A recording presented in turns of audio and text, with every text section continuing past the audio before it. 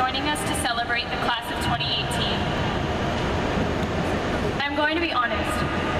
When I was first told to write this speech, a speech that should be full of optimism and hope for the future, I wondered if I was truly going to be able to do it.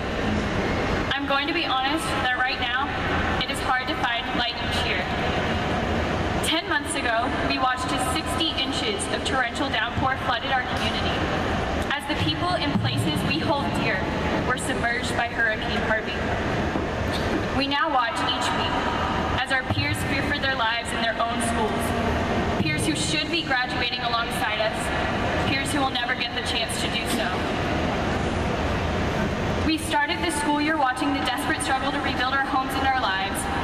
We were going through this school year watching our fellow students die, all while juggling senior year, schoolwork, and stress. I'm going to be honest that it is almost impossible to find light in the wake of these hardships. I say almost because while it is obscure, it is present.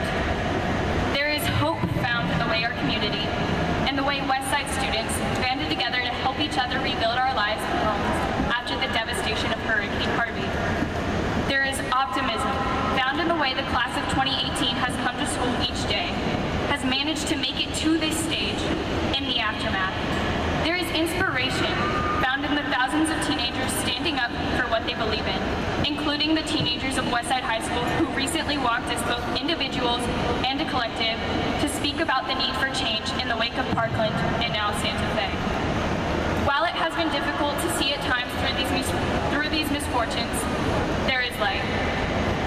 It is found in each member of the class of 2018, and thank you to all of the parents, teachers, staff, and mentors who helped to cultivate this light within us.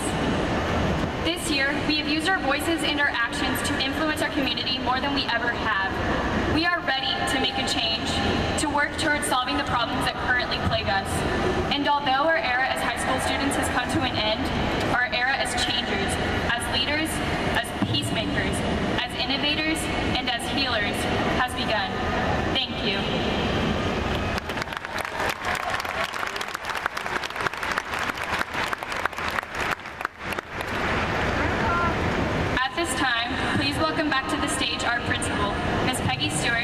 deliver her charge to the class of 2018.